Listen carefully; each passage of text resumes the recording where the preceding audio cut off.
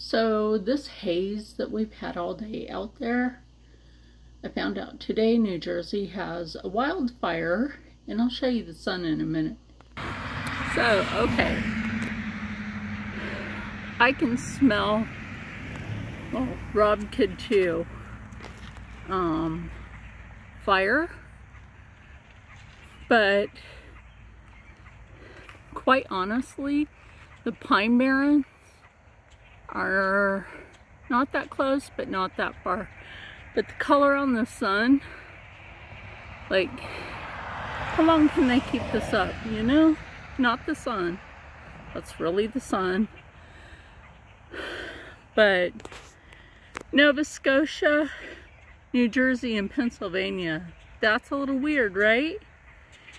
Because by the law of physics, by the law of physics, anything that comes from Canada will eventually, sorry about that, will eventually fizzle out. So they can't say that this came from Canada to start a fire in America.